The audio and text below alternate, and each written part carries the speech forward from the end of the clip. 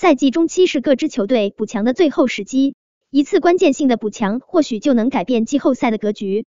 去年东部半决赛篮网对阵雄鹿被视为是总决赛预演，谁取得胜利就将会是总冠军。果不其然，雄鹿最终成功问鼎。除去哈登和欧文受伤的因素，雄鹿赛季中期引援的塔克绝对是夺冠的最大功臣。虽然没有完全限制住杜兰特，但是塔克对于杜兰特的消耗至关重要。去年参加季后赛的球队中，当初在火箭抗勇的队员都成为了各自球队的重要一员。总决赛太阳的保罗和雄鹿的塔克，东部决赛老鹰的卡佩拉，都是二零一七至一八赛季和勇士季后赛大战七场的绝对主力。聚是一团火，散是满天星。那一年的火箭是真的强，可惜最后却各奔东西。目前除了阿里扎因为伤病和年龄原因有些不复当年之勇。还有一名当初的抗勇小能手值得关注，他就是埃里克戈登。戈登是哈登时期留在火箭的最后一名球员了。火箭在去年就开始重建时，就频繁传出戈登的交易流言。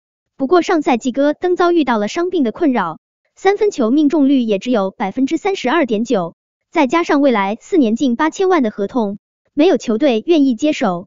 不过本赛季随着比赛的进行，这种情况可能要发生改变了。赛季已经过半，戈登只缺席了七场比赛，场均二十九点二分钟的出场时间里，可以贡献十四点八分、三点四助，投篮命中率达到了百分之五十，三分球命中率更是百分之四十五点二，高居联盟第三。这投篮效率已经达到了职业生涯的最高值。在面对马刺的比赛中，戈登更是十投就拿到了三十一分，其中三分球七投六中。他是火箭战胜马刺、终结三连败的关键球员。戈登不但在本赛季进攻重回高效，最为关键的是，戈登的防守非常强悍。虽然身高只有一米九一，但是他的身体非常强壮，可以从一号位防到三号位，在承担起防守对手核心球员的同时，还能保持场均十五分以上的输出。他还是一名大心脏球员，关键时刻毫不手软，绝对是争冠球队最需要的拼图球员。虽然他的合同还有未来的六千万，但实际上他的合同暗藏玄机。最后一年两千一百万的合同是有条件限制的，只有球队夺冠或者入选全明星才能变成全额保障。入选全明星对于戈登已经不可能了。如果能帮助球队夺冠，那带来的收益远不止两千一百万。如果球队没有夺冠，他的合同其实只剩下明年的一千九百五十六万。从他的目前状态来看。他还是有能力撑起这份合同的。